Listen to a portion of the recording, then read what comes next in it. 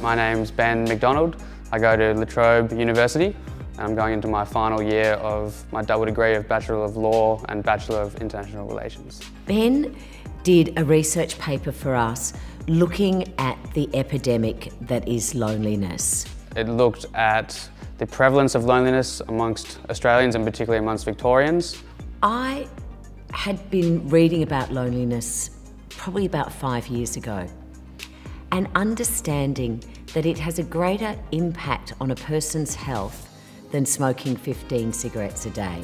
It looked at what's been done in other jurisdictions in terms of loneliness. So, for example, in the UK, uh, they've appointed a minister for loneliness. One of the great recommendations, and I was so pleased that he did the work to justify this, was to establish a portfolio for loneliness. So while it is well known that the prevalence rates are high, there hasn't really been any kind of large scale campaigns that the government have done to raise awareness about loneliness. We have learned from Ben and Ben's report that loneliness very often is a precursor to far more serious mental health issues.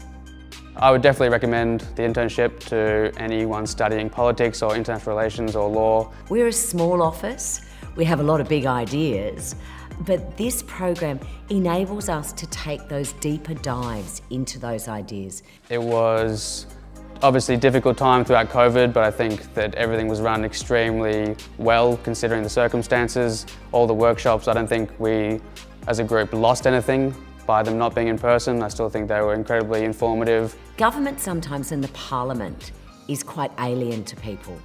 So the more that we can involve people with the process, the more we can create a greater understanding of, of how our parliament works, what our politicians do, that's going to be better for our democracy.